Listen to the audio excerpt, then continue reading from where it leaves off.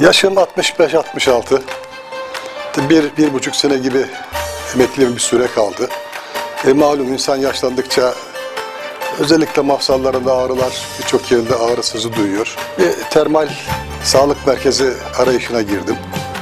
Birçok yeri gezdim ve kararı burada kıldım. Ve buradan yaz döneminde bir 15 günlük devre mülki aldım. Çocuklarımla, torunlarımla geldik. Çok hoşumuza gitti. İkinci dönem geldiğimizde mutlaka burada bir de kışın da almamız gerekiyor. Ve bir kış döneminde de devre mülki aldık. Çok mutluyuz. Efendim çok faydasını gördük. Özellikle kızım mafsal ağrılarından çok şikayetçiydi. Geçti. Bir günlük e, buraya geldik. O fırsatı dahi kaçırmadı. Sırf buranın termal tesislerinden, sağlık merkezinden faydalanabilmek için çok da mutluyuz.